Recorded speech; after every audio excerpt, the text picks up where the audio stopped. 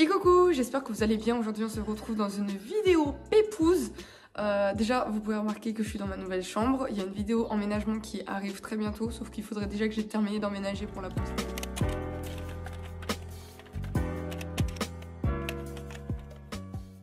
Mais bon, aujourd'hui, on se retrouve dans un petit hall. Petit, euh, on a plus de 30 bouquins à découvrir ensemble. Merci le Pass Culture d'ailleurs que j'ai terminé. Il me reste 4 euros, puis le, ce qu'il faut pour une place de cinéma un jeudi. Donc euh, go aller voir Fast and Furious 9.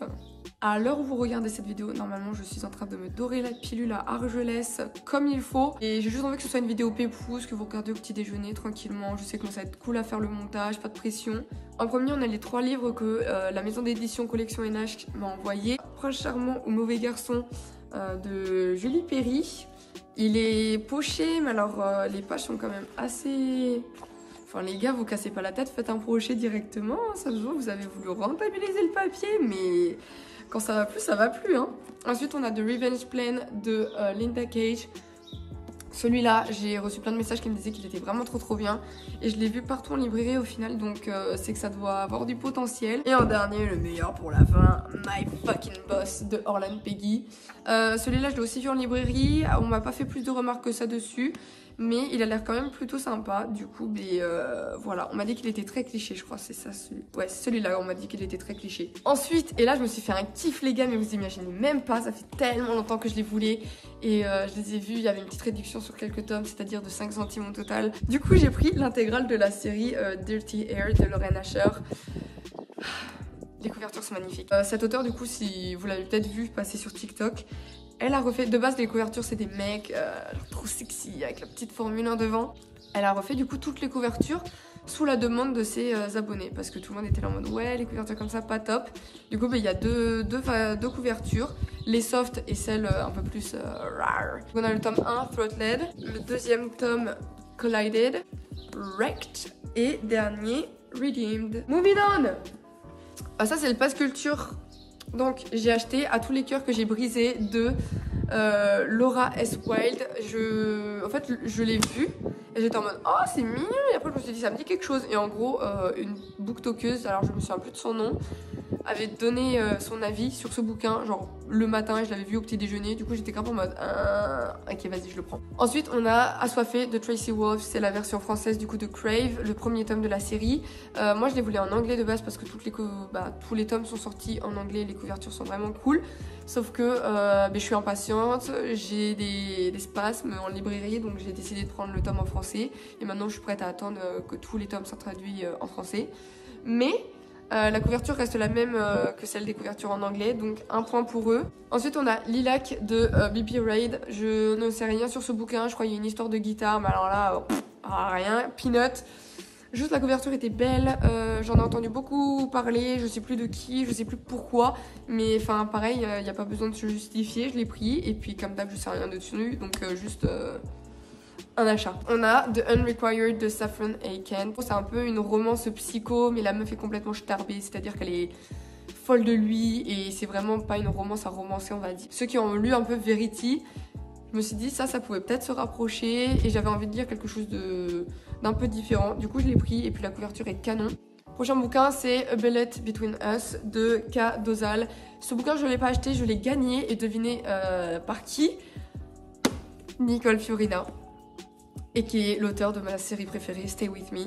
Euh, j'étais beaucoup trop contente. En fait, il fallait identifier sa meilleure amie et dire pourquoi on l'aimait. Et moi, j'ai identifié ma pote des États-Unis parce que je me suis dit, si elle doit gagner quelque chose, autant que ça, soit pour elle. Je savais pas que c'était international. Et je pensais vraiment pas gagner. Au final, toutes les deux, on a reçu le livre. Elle, elle l'a lu, elle a beaucoup aimé. Moi, pas encore. Et il y avait plein de petits trucs. Enfin, pareil, j'ai fait l'unboxing sur Insta. Si vous voulez aller le voir, vous pouvez dans les euh, stories euh, en highlights. Et après, elle m'a envoyé plein de, euh, trucs reliés à la série Stay With Me et Hollow Hittens. Donc j'étais refaite. Mais voilà, la couverture est magnifique et très très hâte. Celui-là, c'était sûr que ça allait ça arriver. La tension entre lui et moi était tellement palpable et irrésistible. J'ai craqué. Ça faisait 9 mois qu'il était dans ma wishlist Amazon et il fallait que je le prenne. Punk 57 de Penelope Douglas, Hate to Love en français, je vous en ai déjà parlé, ce bouquin est incroyable, il faut absolument que je le relise. La couverture est beaucoup trop cool et sachant l'histoire et tout, euh, ça prend du sens et bref j'adore. Et parce que la française, elle est pas belle du tout, du tout, du tout, du tout. Et juste, je suis contente parce que du coup, ça remplit un peu ma collection Penelope Douglas parce que j'adore l'auteur et pourtant, je n'ai pas tant que ça dans ma collection. Et il manque encore Nightfall, le dernier tome là de Devil's Night. Putain, il a changé les couvertures, ça, ça, ça, ça j'ai le mort. J'ai le mort, j'ai tout acheté, elle rechange tout avant que je prenne le dernier. Moving on Je dis ça trop souvent, mais en même temps, euh, sur 30 bouquins, euh, les transitions, déjà d'habitude, c'est en mode... euh, Donc, sur ce... je me fais rire. Ok, donc à la librairie, en gros, il y avait un, petit stand de, la même maison d'édition, du coup, c'est. Euh, en gros, deux achetés et t'avais celui-là qui était offert, du coup, Little Monster de Cara Thomas. Euh, c'est un thriller un peu euh, spécial, je ne sais absolument pas, genre j'ai juste vu offert, j'étais en mode une raison d'acheter encore plus de bouquins, du coup je l'ai pris.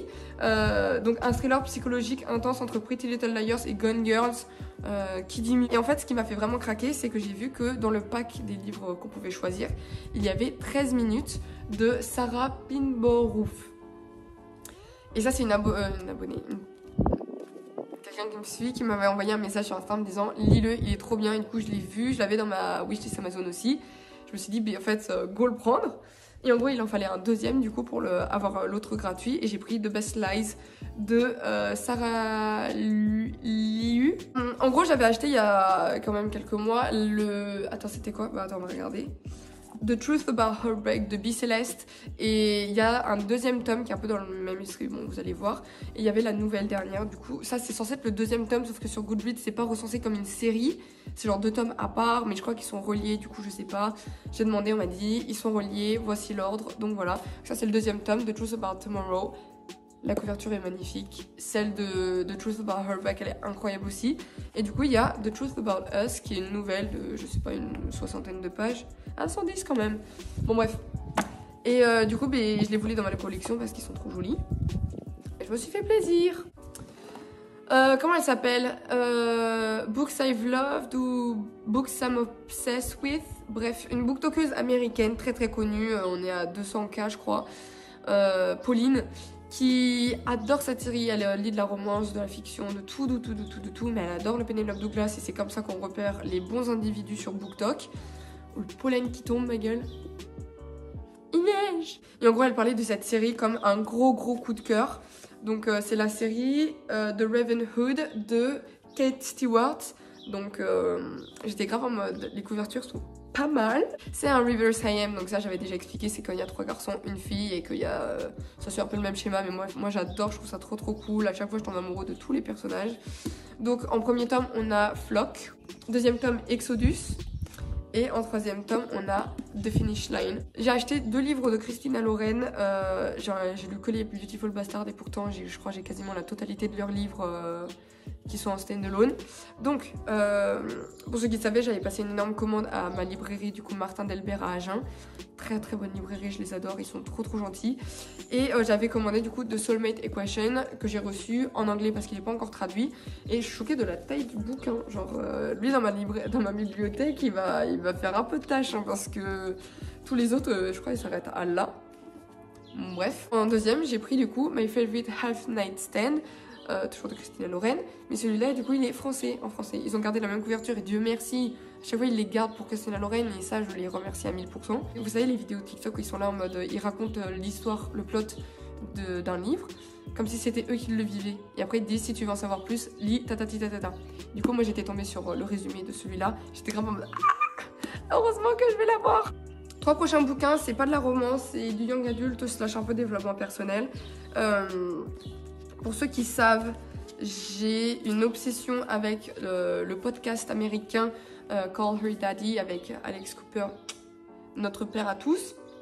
Et euh, en gros, elle parlait de ce bouquin, donc you only, you only Fall in Love Three Times de Kate Rose. Et je lui fais confiance, elle a dit que c'était trop trop bien. Ensuite, on a Words in Deep Blue de euh, Kat Crowley. C'est une booktokeuse américaine qui est vachement jeune, je crois qu'elle a mon âge, voire un peu moins, qui lit énormément de young adultes et qui en avait parlé. Donc euh, je crois que c'est une romance young adulte qui se passe euh, en mode euh, ils se rencontrent à la librairie ou un truc du genre et il y avait autre chose. Mais bref, j'ai grave kiffé euh, ce qu'elle racontait et du coup j'étais en mode oh mais trop mignon et la couverture encore une fois est magnifique. Du coup je me suis pas cassé la tête, j'ai eu pour 8 euros et enfin le plaisir de lire en VO vraiment. voilà. Encore un autre livre, c'est Girl Out of Water de Laura Silverman. La couverture est pas mal. Je crois que j'ai vu un TikTok d'une meuf qui donnait l'esthétique de ce bouquin. Et enfin, très, très, très plage, soleil, ambiance vacances. Euh, tout ce que j'aime. Et du coup, ben, genre, j'ai pas réfléchi, je l'ai acheté directement. Donc là, c'est pas parce culture. Ok, donc il nous en reste 5. Et ça va aller vite. Euh, c'est l'événement Partir en livre qui me, qui me les a envoyés. En gros, j'ai fait ma petite sélection et vous allez voir là normalement, euh, enfin ça fait une semaine du coup, je pense que vous aurez euh, le concours qui est annoncé parce que je suis en train de le poster aujourd'hui. Je leur ai pris les deux tomes de romance de, alors attends, c'est Arnaud Catherine. Euh, je l'ai déjà, je l'ai lu, je l'ai aimé. C'est une romance LGBT qui se passe à Paris, qui se lit hyper facilement. J'ai beaucoup aimé et je me suis dit pourquoi pas en fait vous faire gagner deux exemplaires. Donc euh, voilà, normalement, euh, je sais pas quand j'annoncerai, de toute façon je serai à la plage donc je pourrai pas vous les envoyer. Mais logiquement, c'est encore possible de participer, donc allez voir sur mon TikTok. Ensuite, on a The Black Kids de euh, Christina Ammons-Reed, Los Angeles, 1992 ce qu'on aime et j'ai vraiment hâte donc je, vous, je, vous, en redirai des nouvelles de toute façon quand je l'aurai lu. Ensuite j'ai pris les Roches Rouges de Olivier Adam je l'ai vu depuis au moins un an en supermarché, librairie partout. Je kiffe la couverture, elle est magnifique. Et je me suis dit, quand je l'ai vu, je veux le lire, savoir plus sur ce bouquin. Et comme ça, euh, si j'ai aimé, je pourrais lire d'autres choses de cet auteur parce qu'il en a écrit quand même pas mal. Et en dernier, on a La passeuse de mots de Alric et Jennifer Twice. Ce bouquin est une arme blanche, comme dirait Eva, c'est-à-dire que là, tu couds un petit coup euh, dans la clavicule des caches mais la couverture est magnifique. Je crois qu'en fait j'ai acheté tous mes bouquins en fonction de leur couverture parce que je répète ça 40 000 fois mais en même temps euh, je suis vraiment le CEO de juger un livre par sa couverture. Bon alors on est le lendemain, je viens juste de rentrer de Toulouse et j'ai acheté encore trois nouveaux bouquins. Du coup bien évidemment je vous partage puisque c'est dans la vidéo haul. Premier bouquin, The Kiss Caution de Ellen Wang, je sais pas si je prononce bien. La couverture est la même qu'en anglais et c'est traduit en français. Bref on adore, merci la FNAC. People We Meet on Vacation de Emily Henry, j'en ai déjà parlé, c'est dans mon pile d'été euh, pour cet été. Et je l'emmène avec moi demain, du coup je vous en dirai des nouvelles. Et troisième bouquin du coup, Wilder Girls de euh, Rory Power. La couverture est incroyable, ils ont gardé la même que la, que la version originale. Promis, c'est la dernière fois que vous me voyez. Juste, du coup, je suis à Argelès et hier, j'ai fait deux petits achats hasardement, mais en même temps, c'était tellement une bonne affaire. Du coup, je vais vous expliquer. En premier, j'ai pris Moxie, mais avec la, la, couverture originale, du coup, pas celle avec euh, l'autocollant Netflix. Et euh, je l'ai vu à Toulouse, à la FNAC, il était à 17 euros et là je l'ai payé 13 euros. Et tous les livres, enfin les deux là que j'ai pris, sont sous blister, du coup protégés comme pas possible. Donc c'est pas comme à la FNAC avec les connards qui rangent les livres sans faire attention et qui plient tous les coins et les couvertures. Et du coup en deuxième j'ai pris Alex peut-être de Jane Bennett et parfait pour la plage. Ils avaient vraiment une hyper bonne sélection même pour les ados. Donc euh, je valide à 100%. Je l'ai acheté quand même pas mal de choses. Après, il y a des trucs que je vous avais pas montré sur deux mois, donc euh, voilà. Bon, là, je me trouve des excuses, bien évidemment. Sur ce, j'espère que ça vous a plu, que vous êtes en détente avec moi, peut-être à la plage. Euh, si c'est le cas, protégez-vous, mettez de la crème.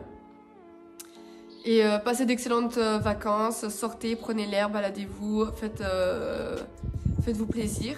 Et on se retrouve la semaine prochaine. Bisous